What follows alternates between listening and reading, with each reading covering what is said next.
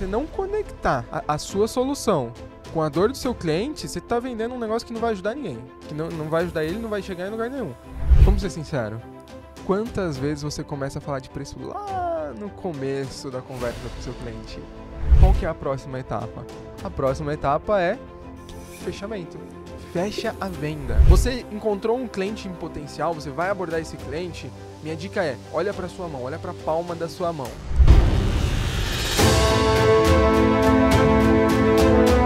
Oi, tudo bem? Você não sabe quem eu sou, mas eu tô sempre aqui, hein? Meu nome é Clayton, sou da área comercial aqui da Unibanco, eu lidero a área comercial aqui. E se você conhece a Unibanco, se você já conversou com alguns dos nossos consultores aqui, se a gente já teve um papo, é porque meu time tá fazendo um bom trabalho. Eu vim falar com você aqui hoje sobre vendas. Para começar, eu quero te fazer uma pergunta. O que, que é esse produto aqui? Qual que é esse produto? E esse outro aqui? Na verdade, os dois são cafés, né? E a minha dúvida é, qual que é a diferença entre esses dois produtos? Existem uma série de diferenças entre os dois, né? Primeiro, o ambiente que você frequenta para consumir um e para consumir o outro, ele é diferente. Segundo, tem um negócio de posicionamento de marca diferente, né? O preço é diferente, mas no fim, existe um que é melhor que o outro? Existe um que é mais valioso, mais bem aceito que o outro? Não vou entrar tanto nessa discussão. O ponto é, no fim das contas é o mesmo produto, mas é diferente. Um é o café que você compra em qualquer padaria, você compra em qualquer esquina, você chega lá, pede seu cafezinho e tem assim, tem seu valor, muito bom. O outro é o Starbucks, que você vai lá, compra, paga mais caro do que aquele primeiro cafezinho e você consome uma experiência, é diferente. A pessoa escreve o seu nome no copo, o ambiente é diferente. Tem uma série de coisas que foi construída ao redor dessa marca para fazer, no fim das contas, uma coisa: para fazer com que você consuma, para fazer com que a empresa venda para você no fim das contas, o objetivo do cafezinho do seu Zé, da padaria e do Starbucks é vender café. Né? É vender um produto. E é sobre isso que eu quero falar com você. Qual que é a diferença dos dois? Por que, que em um você paga dois reais, três reais, no outro você paga 15, 16? Por conta do processo de vendas, por causa de toda a construção que, que existe ali na marca. Para a gente dar sequência nisso, a gente vai falar aqui sobre processo de vendas como que você consegue deixar o seu produto desejado para o cliente, o seu serviço desejado, como que você consegue trazer mais cliente, ou como que você consegue ser mais assertivo na hora de vender para esse cliente. Se eu pudesse te dar uma dica é, tenha um processo de vendas claro e siga esse processo. Eu vou trazer aqui um ciclo de vendas, um processo de vendas genérico e você pode adaptar aí a sua situação, tá bom? Você pode ser um vendedor de café, como o seu Zé, você pode ser um vendedor de carro, você pode ser um vendedor de colchão, como eu fui lá no passado. Não importa. Para você vender mais, é importante que você siga um processo de vendas. Se você seguir da forma correta, sem pular nenhuma etapa, fazendo o que tem que ser feito, eu te garanto que você vai vender com mais cadência, você vai conseguir aumentar a sua conversão, você vai conseguir ser mais assertivo com o seu cliente. Para começar então, vamos aqui. O Lucas vai colocar aqui uma régua tá? E aqui vai ter o, o, o, ciclo de vendas, né? Qual que é a primeira etapa em um ciclo de vendas? Isso vai depender de como você trabalha. Qual que é o processo adotado pela empresa que você trabalha ou qual que é o processo adotado por você na sua empresa, no seu negócio, lá, do, enfim. Basicamente, a gente tem dois formatos, vamos colocar aqui. Formato inbound e formato outbound. Formato inbound, o cliente ele vem até você, aí você vai usar alguma forma de marketing, tráfego, qualquer tipo de, de posicionamento para que seu cliente venha até você. E outbound é diferente, você quem vai atrás do seu cliente, você quem busca aquele cliente para dentro da sua loja, dentro de uma reunião, para uma call, seja lá o que for. Então, inbound, outbound. Para a gente começar aqui, eu vou falar sobre o inbound, sobre uma pessoa que recebe o lead, que recebe o contato desse cliente. Como que a gente faz para abordar esse cliente, né? Qual que é o melhor processo? O cliente, ele descobre uma necessidade esse cliente ele precisa, ele está com dor nas costas, ele precisa de um colchão novo, ou esse cliente descobriu que, que eles estão grávidos, né? a esposa descobriu que está grávida, o marido descobriu que a esposa está grávida, a família vai crescer, você precisa de um carro novo, pô, ó, descobriu uma necessidade. Ou a família vai crescer, você precisa agora comprar fraldas, você precisa comprar um berço, você precisa de uma casa maior. Enfim, surgiu ali uma necessidade. Você quer se especializar, você quer ser um profissional mais bem remunerado para o mercado, você quer ser um profissional mais valioso para o mercado. Existe aí uma necessidade e você descobriu essa necessidade. Quando o cliente descobre essa necessidade, ele começa a pesquisar soluções. Hoje, o ambiente mais comum de ser feita essa pesquisa Google, né? O, o celular. E depois que você pesquisa por essa solução, você solicita um contato. Então imagina o seguinte: eu acabei agora de sair do ensino médio e eu preciso fazer uma faculdade. Ou eu quero fazer uma faculdade. E eu começo a pesquisar ali qual que é a melhor universidade, qual que é o melhor curso, onde que eu vou estudar, por que, que eu vou estudar. E eu pesquiso ali diversas faculdades. Beleza, eu gostei aqui, selecionei duas, três faculdades, agora eu quero me aprofundar, saber quanto que isso vai custar, saber os detalhes que eu não consegui ali na minha pesquisa, saber se às vezes eu consigo algum desconto. Enfim, o que, que eu faço? Eu solicito um contato, eu levanto a mão. Se eu sou lá o, o, o pai da família que está crescendo, cara, eu vi aqui três lojas que fabricam berço. Ah, legal, vou mandar mensagem para essas três que vou solicitar um contato. Tá? Então esse é o primeiro ponto. O cliente ele solicita um contato. E aqui que o vendedor entra geralmente, né? O vendedor ele aborda esse cliente. Como que ele aborda esse cliente? Ele vai receber ali no CRM um, um card de negócios, ele vai receber um, um e-mail. Depois que você abordou o cliente, que você teve uma conversa inicial, o que, que você faz? Você apresenta para o cliente preço? Você apresenta o seu produto para o cliente, você começa a falar da sua loja, você começa a falar da sua empresa que é a melhor do mercado? Não, você não faz nada disso. Você aborda o cliente, você que se conecta com o cliente e você começa a fazer um mapeamento de dores. Nesse momento, você vai descobrir quais são as reais necessidades desse cliente. Vamos voltar lá para os exemplos que a gente deu no começo? Então vamos supor que o universitário. Quais são as necessidades desse universitário? O que você está buscando? Por que, que você está procurando por esse curso? Você está procurando empregabilidade? Talvez esse não seja o melhor curso. Ah, você quer, por exemplo, fazer uma licenciatura ou um bacharelado. Qual que é a diferença disso? Às vezes a pessoa nem sabe qual que é a diferença. Você está procurando um curso em uma área que você gosta ou uma área que paga melhor, uma área que vai ser mais bem remunerada. Essas são dúvidas que as pessoas têm e cabe a você, vendedor, investigar se a gente volta lá para a situação da família que está crescendo, né? Qual que é a sua necessidade? Você quer comprar um, um berço para o seu filho que vai nascer? Qual que é o tamanho do quarto que seu filho vai, vai ficar? Você já tem um quarto para essa criança ou ele vai ficar no seu quarto? Você quer um berço para durar ali o primeiro ano de vida do seu filho? Você quer um berço para durar dois anos da vida do seu filho? Os vendedores de berço agora devem estar me pegando, né? Porque eu nem sei se essa pergunta faz sentido.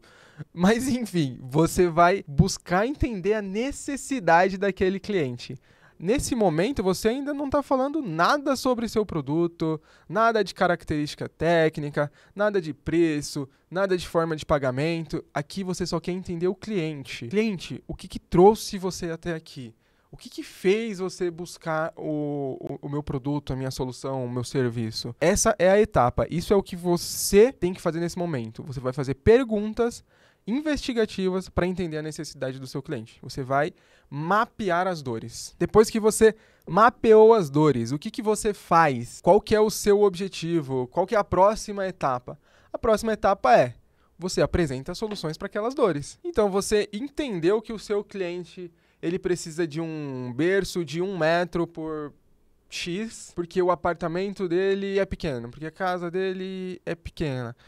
Você volta e fala, cara, pensando em você aqui, ó, naquilo que você me falou, do tamanho do quarto para o seu filho, do tamanho do seu apartamento, eu tenho essa solução. Esse aqui vai se encaixar como uma luva para o seu momento, para o que você está buscando. Olha, universitário, entendendo aqui tudo que você busca na sua carreira, qual que é o seu objetivo profissional, esse curso vai fazer sentido para você.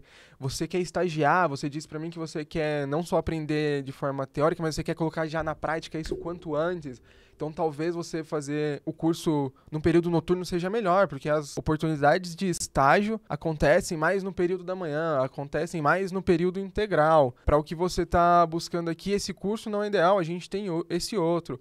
Além do curso, a gente tem aqui um programa de extensão acadêmica que vai te ajudar, a gente tem um programa de intercâmbio que vai te ajudar a realizar seu sonho. Dependendo da necessidade do cliente, você vai apresentar soluções personalizadas para ele. Você vai apresentar soluções que fazem sentido de acordo com aquela dor dele. E aqui é importante você saber, mas Clayton, eu vendo um produto, eu vendo uma solução, eu não tenho como personalizar nada para o meu cliente. Mas a forma como você vai colocar isso para o seu cliente tem que conversar com a dor dele. Não, não é com a sua dor, não é para sua empresa vender mais, não é para você bater meta, é com a dor do seu cliente. Se você não conectar a, a sua solução com a dor do seu cliente, você está vendendo um negócio que não vai ajudar ninguém, que não, não vai ajudar ele, não vai chegar em lugar nenhum. Então é melhor você não vender para esse cliente. Você está vendendo algo que ele não precisa. Depois que você apresentou as soluções, então vamos lá. O cliente pesquisou, solicitou um contato, o vendedor abordou ele, mapeou as dores e apresentou uma solução. O que, que acontece nessa hora? Qual que é a próxima etapa? Geralmente aqui vem aquela perguntinha, né? Tá bom. E quanto que isso vai me custar? Qual que é o preço? Como que eu te pago? E aqui você começa a negociar as condições financeiras. Então, pode ser que na sua empresa você tenha um desconto para vender à vista. Pode ser que na sua empresa você tenha condições de parcelamento em até três vezes sem juros. Pode ser que você faça em até 12 vezes sem juros. Pode... Enfim, você vai fazendo perguntas ali para entender como que a, sua forma de pagamento, a, a, sua condição, o seu preço vai se encaixar dentro da, da op melhor opção para o cliente como que isso vai se encaixar dentro do orçamento do cliente, mas vocês vão negociar aqui condições financeiras. Você entende que só aqui a gente começa a falar de pagamento. Só aqui a gente começa a falar de preço. Vamos ser sinceros. Quantas vezes você começa a falar de preço lá no começo da conversa com o seu cliente? Quantas vezes o cliente vem até você e fala, cara, eu quero um berço. E você fala, ó, oh, esse daqui custa mil reais. Esse daqui custa 300 reais. Quantas vezes o cliente senta na sua frente e fala, Poxa, eu tava querendo fazer um curso aqui na sua faculdade de medicina. Ah, legal, a mensalidade da medicina é 5 mil, é 3 mil, é mil, é... enfim. Você pulou um monte de etapa. Você colocou o carro na frente dos bois. E aí, naturalmente, a chance de você não fazer essa venda é maior. Não quer dizer que a venda não aconteça, mas a probabilidade de que aconteça é menor. Depois que você apresenta soluções para o seu cliente, e apresenta ali também a, a parte financeira, depois que vocês negociam valores, negociam formas de pagamento, enfim, qual que é a próxima etapa? A próxima etapa é fechamento. Fecha a venda. O vendedor ele fecha a venda. E como que isso acontece? Qual que é a melhor forma de fazer isso? É você conduzindo para o fechamento. O fechamento, ele é uma ação. Esse não é um momento de você ficar fazendo um monte de perguntas para o seu cliente. Você já fez uma porrada de pergunta. Se você vai fazer alguma pergunta aqui no fechamento, que seja uma, uma pergunta direcionada para de fato fechar a venda. Jamais olhe para o seu cliente e pergunte: "E aí, você gostou? E aí, vamos dar sequência?" Não, esse tipo de pergunta não, não é o momento de, de fazer. Na verdade, você não tem que fazer nunca essa pergunta. As perguntas que você pode fazer no fechamento é para direcionar a, o fechamento, para direcionar o cliente a tomar uma ação. Então, poxa, seu Pedro, de acordo com o que a gente conversou aqui, a gente tem essa condição, assim, assado tal. Tô preenchendo aqui a, a, a ficha, tô preenchendo aqui o, o seu pedido. A gente vai fechar aqui pagamento à vista ou no cartão de crédito? Talvez você já tenha feito essa pergunta antes. Melhor ainda. Poxa, seu Pedro, estou preenchendo seu pedido aqui. Qual que é o endereço para a gente mandar entregar o seu produto? Qual que é a melhor data para eu mandar debitar esse produto da sua conta? Qual que é a melhor data para o vencimento do boleto da, da, da mensalidade aqui da, da faculdade? Qual que é a melhor condição aqui para você? Você vai querer no boleto você vai querer no cartão? Você vai querer parcelado em três vezes ou você vai querer parcelado em seis vezes? A gente vai efetuar a cobrança através do banco X ou através do banco Y? Faça perguntas ali fechando a venda. E é uma ação. Seu, seu Pedro, preciso então que o senhor abra aí o aplicativo do banco para assinar o contrato. Poxa, seu Pedro, eu preciso aqui que o senhor assine então esse, esse contrato aqui para a gente dar a sequência. Seu Pedro, preciso que você autorize o pagamento no. Enfim, fecha a venda. Essa é a hora de fechar. Não é a hora de ficar dando voltas. A gente falou bastante sobre a venda inbound, né? Sobre aquele lead que levanta a mão, aquele cliente que vem até você. E o outro lado, e o outbound, e o, o vendedor que precisa ir à luta, né? O famoso hunter, o caçador que busca o cliente. Como que ele faz? De um modo geral, o processo ele é bem parecido. A diferença é que você aborda o cliente. Então, aquela etapa de o cliente pesquisar sobre o produto e o cliente levantar a mão solicitando contato, ela não acontece. Muitas das vezes não acontece. Se você for um bom vendedor outbound, você for um bom hunter, isso vai acontecer com mais frequência através da indicação. Mas, via de regra, você precisa prospectar. E aqui é, é uma grande dor dos vendedores, né? Como que eu prospecto? Como que eu consigo ir atrás do cliente sem incomodar? Esse é um assunto para outra aula. Mas aqui a gente vai falar sobre o, o, vendedor hunter, onde que ele entra, né? Onde começa o processo de vendas dele. Geralmente, o vendedor hunter, ele aborda o cliente. Então, você vai abordar o cliente através de uma ligação, você vai abordar o cliente através de um e-mail, você vai abordar o cliente, às vezes, indo até o estabelecimento dele, às vezes indo até a casa dele, depende, não sei o que, que você vende efetivamente. Às vezes, dentro de um supermercado, por exemplo, você está lá e vem alguém te para e fala: Oi, tudo bem? Você já conhece o nosso cartão? Você já possui tal benefício? Você já conhece esse produto? A gente está com uma promoção assim? A gente está com uma ação assado? Essa é a pessoa que aborda, essa é a pessoa que prospecta. Então aqui você pula aquelas etapas ali de o cliente pesquisar e levantar a mão, né? Você vai atrás do cliente. A partir disso, você tem um papel mega importante aqui, que é você levantar as dores desse cliente. Através do mapeamento, né, você cria uma conexão com esse cliente e começa a fazer perguntas para levantar as dores dele. E através de perguntas bem feitas, através de técnica, você consegue levantar as dores para apresentar as soluções, depois negociar ali condições financeiras e, por fim, fechar a venda. Então, esse é um processo. É claro que tem empresas que vão ter um processo mais alongado, tem empresas que têm um processo um pouco mais curto, mas no fim, toda venda acontece através de um processo, através de um ciclo. E quanto mais assertivo você for nisso, quanto menos você pular as etapas do, do processo de vendas, do ciclo de vendas, maior a sua chance de vender. Às vezes você pode demorar um pouco mais para vender para esse cliente, mas se estiver dentro do seu processo de venda, se isso tiver mapeado, se isso fizer sentido, tá tudo bem. Tá, Cleiton, beleza, você falou sobre processo de vendas, você falou sobre uma porrada de coisa.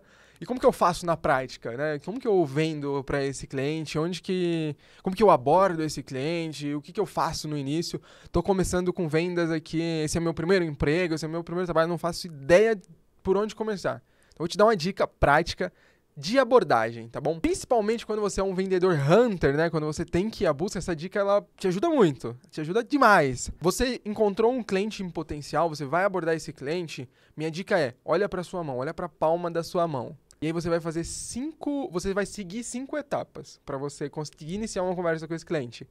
Primeiro, quem é você? Quem é você? Eu, no caso, eu sou o Clayton. Quem você representa? Você representa alguém? Você representa a, a sua própria empresa? Enfim, você representa a, a, alguma entidade ali, né? Alguma instituição. O que, que essa empresa que você representa, o que, que essa instituição faz? Quem que você já ajudou? Quem que essa empresa já ajudou? Isso aqui traz um peso enorme ali na hora da sua abordagem. E por fim, qual que é a sua intenção nessa conversa? Então vamos lá, de forma prática. Quem sou eu? Eu sou o Clayton. Quem que o Clayton representa?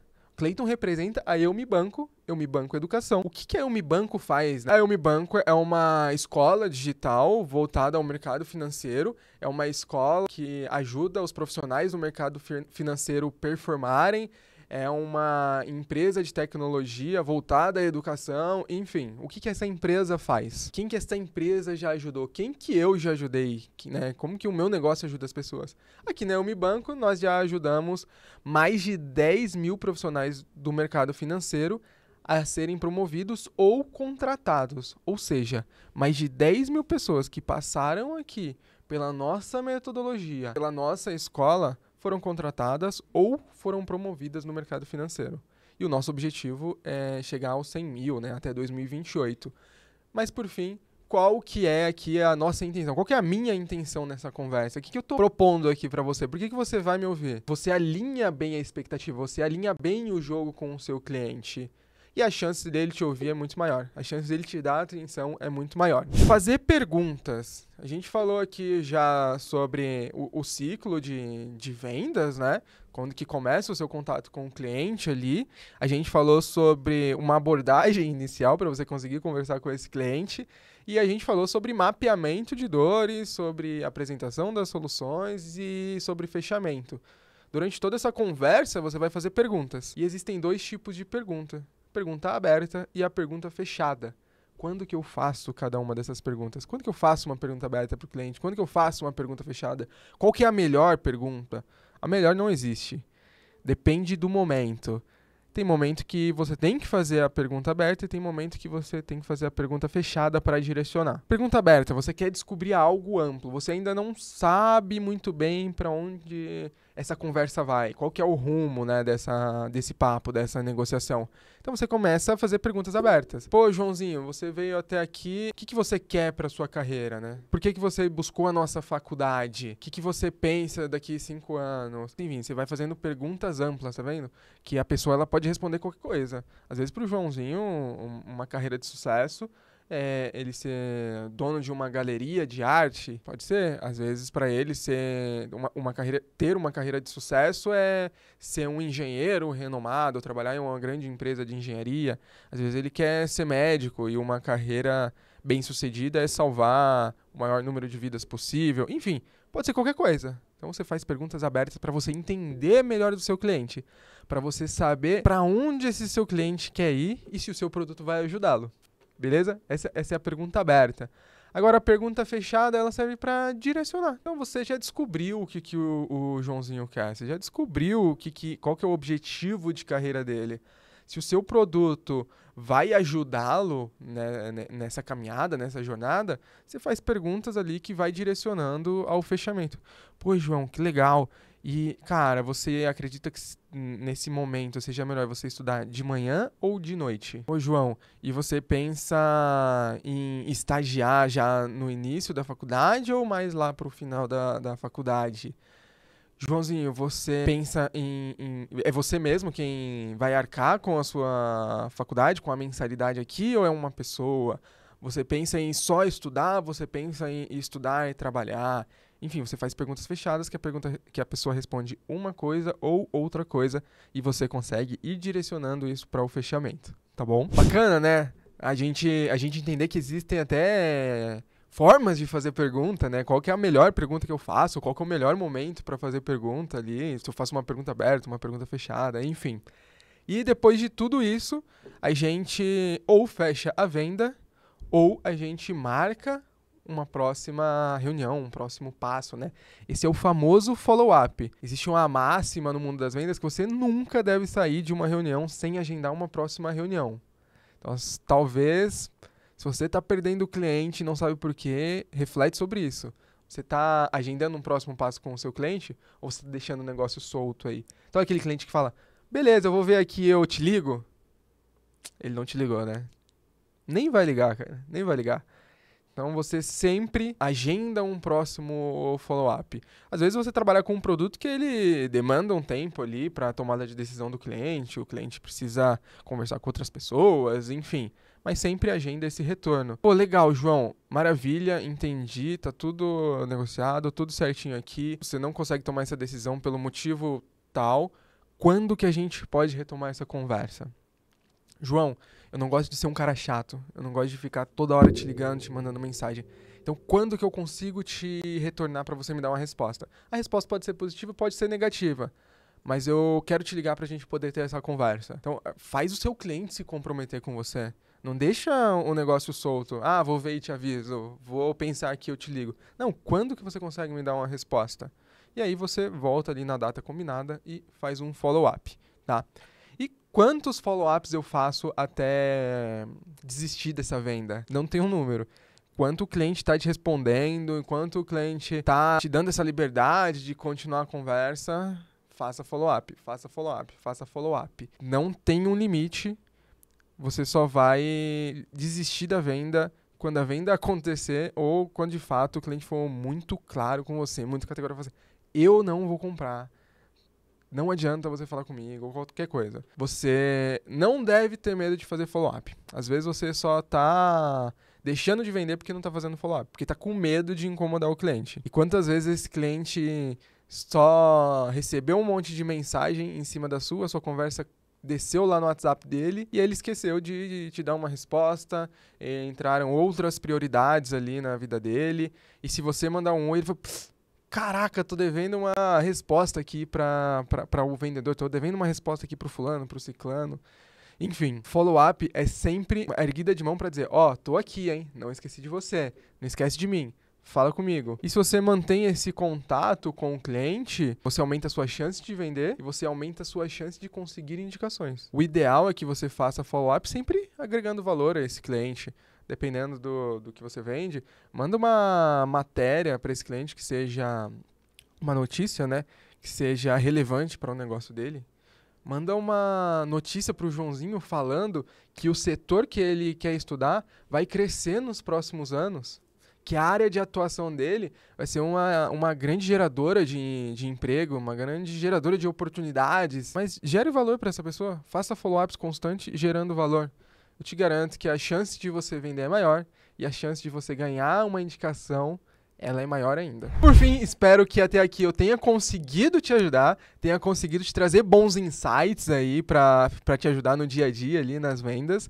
Meu objetivo é falar de vendas com naturalidade e te ajudar a conseguir converter mais, conseguir trazer mais cliente, que a gente consiga uma, uma legião de pessoas apaixonadas por venda aqui, né? Que a gente consiga ter mais gente falando sobre o assunto. Se você gostou desse vídeo, dá o like. Se você gostou desse vídeo, compartilha com aquele seu amigo vendedor que, que tem dúvida. E manda aqui também no comentário qual que é a sua dificuldade, como que eu posso te ajudar. Como que eu posso buscar ajuda com, com, algum tema que, que às vezes você tem dificuldade, eu não sei, mas eu vou buscar gente aqui, a gente traz gente para conversar sobre o tema e é, o objetivo é facilitar a sua vida. Espero que tenha gostado. Meu nome é Clayton Pontes, eu trabalho com vendas há mais de oito anos e meu objetivo é simplificar a venda aqui para você. Olha aí que engraçado. Acabei de receber uma mensagem de follow-up de uma pessoa que está me vendendo. Excelente.